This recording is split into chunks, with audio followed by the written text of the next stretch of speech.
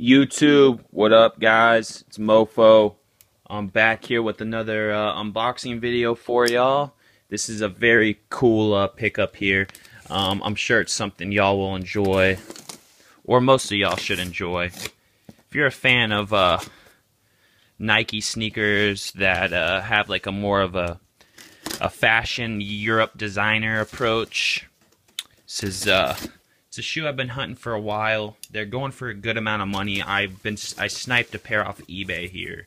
Got a really good deal on it. It's bubble wrapped pretty good. I actually this is pretty annoying. Damn, I don't feel like dealing with this. Make a mess and then have to clean it up. Alright guys, sorry for all that. Just go ahead and put this to the side. Throw this over there. Alright, let's get into it really quick. Alright, we got Air Force One High NG Comfort Low. I believe suggested retail was 250. It has been ripped off, but I believe it was 250.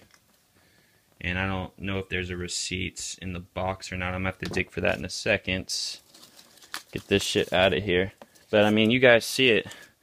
Got a pair of extra laces in black. And here they are, guys. You got the uh, Pigalle, Pigalle, however you want to say it. The um, Europe designer fashion brands. And these are uh, pretty bananas, guys. This is a Nike Lab release. Um, I remember when it released, it was like not that hyped you know, it was 250. Not many people were going too crazy over it. So that's why I passed because I didn't want to pay 250 plus tax or plus shipping. Um, I actually got this for a really good deal. I got this for damn near $75 under retail shipped, but it's got the clear translucent bottom and it's got like football plays on it. As you know, the Air Force is originally a sportswear uh, sportswear shoe, so it's kind of you know it's it's got like a luxury design, like a fashion casual type uh, feel to it. But the model itself is a basketball sneaker, to be honest. So that's kind of where they're you know drawing the uh, hints of that from. Pigalle logo. See the inside. It's got Nike Air ten and a half. Um, comes with the little hang tag here. And this uh, leather quality is absolutely insane. It's absurd. I mean, this is like, I don't even know how to explain it because even the midsole is leather wrapped. And like usually the Air Forces that have leather wrapped midsoles go for like 500 plus retail. Um, this one, these are dead stock. Here's the bottoms on this one. This one, um, the hang tag is a little different. It has Nike on the hang tag.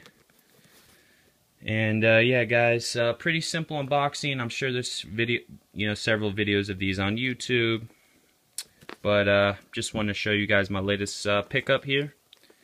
And I appreciate y'all for watching. Please like, comment, subscribe. And you can follow me at mofo underscore Eskimo on Instagram, Twitter, and um, Facebook. But yeah, guys, that's going to be it. Check out www.collectivekicks.com for all your sneaker info and news. Um, check it every day, guys. There's always new uh, articles being posted. But that's it, guys. Sorry for taking uh, so long here. I don't see a receipt, but it's all good. These are legit, I can tell. But uh, that's it, guys. It's Mofo. I am out. Y'all have a blessed day. Peace.